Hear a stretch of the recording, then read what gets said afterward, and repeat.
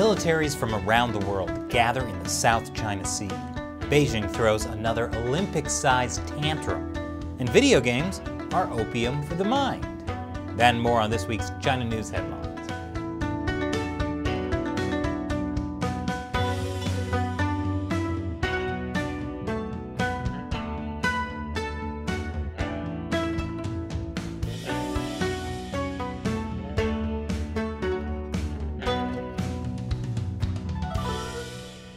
Welcome to China Uncensored. I'm Chris Chappell. For almost a decade, the Chinese Communist Party has been aggressively expanding its control of the South China Sea through the construction of artificial islands and bullying smaller countries using its maritime militia. Trillions of dollars worth of shipping goes through these waters. Plus, there's untapped natural resources like natural gas and oil. In the past, the Communist Party has met little resistance. But that may be changing warships from major powers around the world are heading to the South China Sea. The U.S. has frequently sent aircraft carriers and other U.S. naval vessels on freedom of navigation operations in the South China Sea. That's when they sail through the sea to prove that it's still international waters. More countries are now sending their own ships to the region too. This week, India announced that it was deploying a naval task force of four warships. Those Indian ships will be doing exercises with Quad partners, the US, Japan, and Australia. Germany is also sending a warship to the South China Sea for the first time in two decades. The UK recently sent an aircraft carrier as well. The Chinese Communist Party does not like this.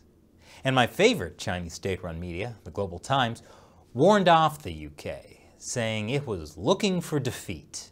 Global Times also warned off all other countries outside the region, saying they should avoid accidental injury.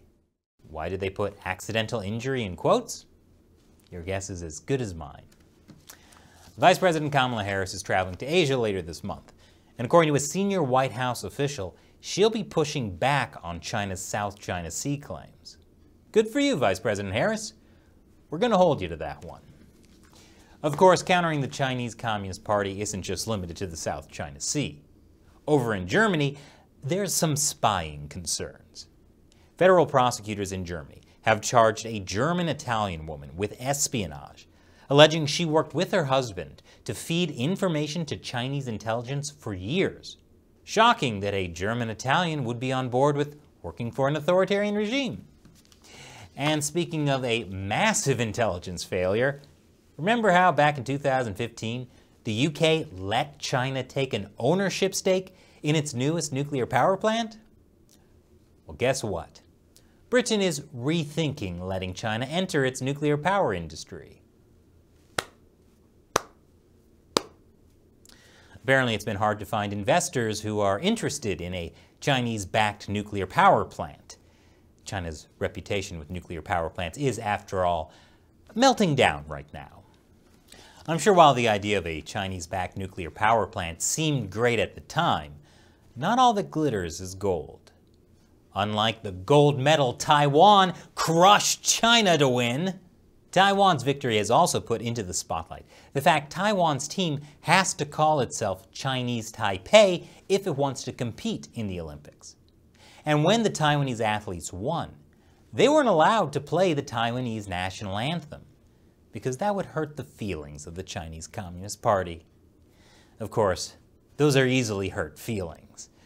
The Taiwanese TV host is being harassed by Chinese internet trolls, the Wu Mao, because she called the Taiwanese Olympians national competitors. Yes, the Chinese Communist Party is that pathetic. Of course, the party always likes to point out the Olympics are no place for politics. Hey, did you hear that two Chinese gold medalists wore Mao badges on the podium?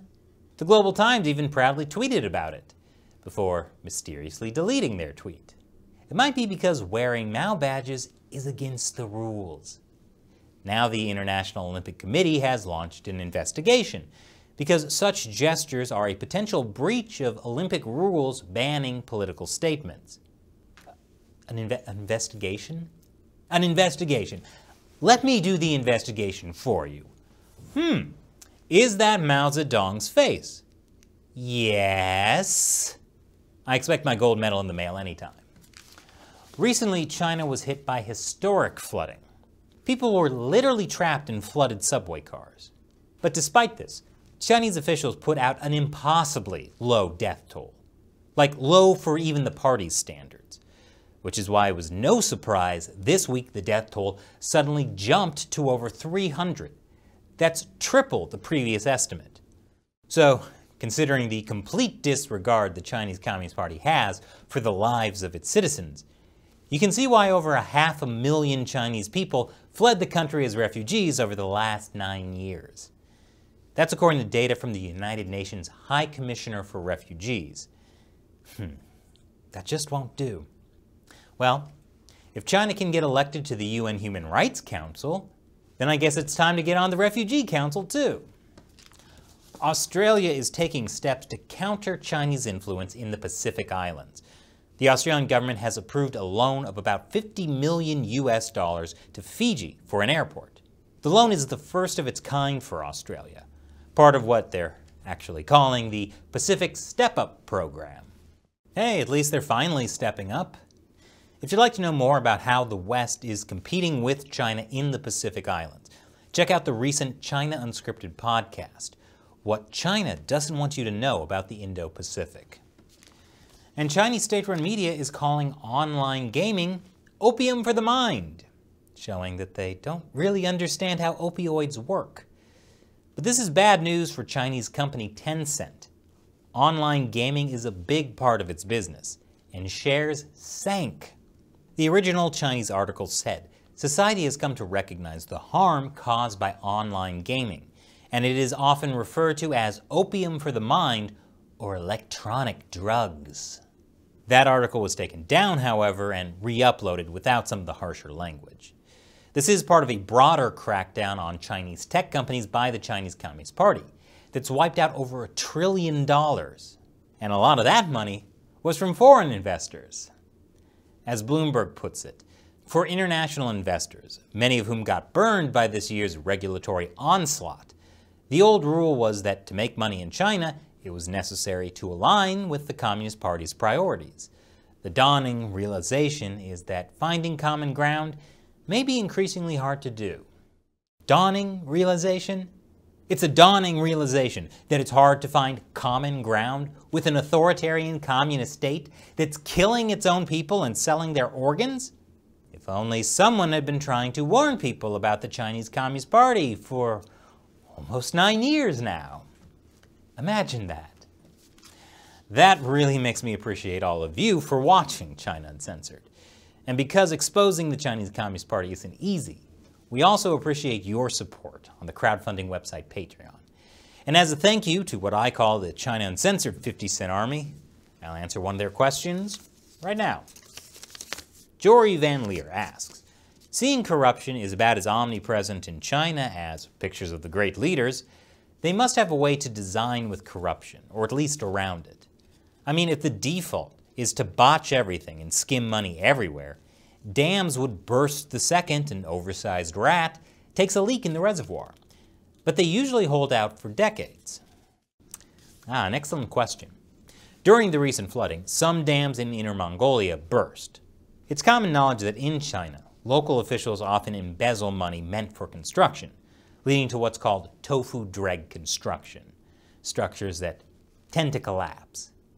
As for dams, one Chinese official said more than 80% of the dams in China were built from the 1950s to 1970s, and many of them have exceeded their designed service life.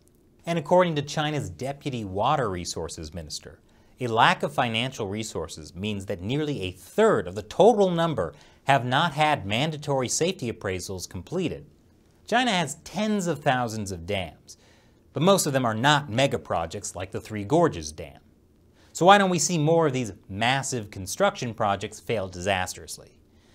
Well, that's because these mega projects are actually important to the Chinese Communist Party, unlike schools in earthquake-prone Sichuan province. Mega projects are a way to show off to the world that socialism with Chinese characteristics works so much better than any other system. So that's why things like the Three Gorges Dam get more oversight. Of course, there are still potential problems, but the party knows a huge dam collapse could be a black swan disaster. Black swans are unpredictable disasters that could have dire consequences for the party. And I use unpredictable loosely here because how unexpected is the collapse of a poorly maintained dam? Thank you for your question, Jory, and your support. And also a big thank you to everyone who supports China Uncensored on Patreon. We could not do this show without your direct support, since so many of our episodes get censored or demonetized. If you're interested in supporting us, head over to patreon.com slash China Uncensored. You'll get a bunch of cool perks, including the chance to have me answer your question on the show. Once again, I'm Chris Chappell. See you next time.